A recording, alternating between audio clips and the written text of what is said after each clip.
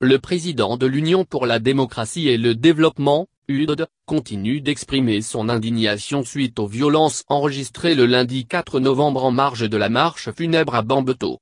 Baouri invite le président Alpha Condé à ne pas écouter son entourage, qu'il accuse de vouloir brûler notre pays. Baouri est préoccupé par la flambée des violences meurtrières dans notre pays.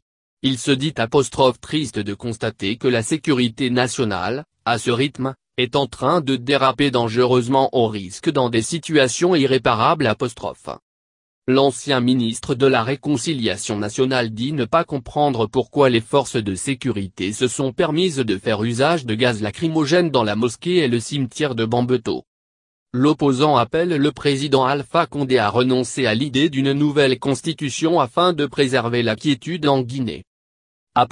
Il y a des gens qui veulent que ce pays brûle, ils sont tapis dans l'entourage présidentiel. Aujourd'hui, c'est la sécurité de la Guinée qui est en danger ainsi que celle de la sous-région également. Il y a des gens, pour leurs intérêts mesquins qui veulent que ce pays brûle apostrophe, indique Baouri.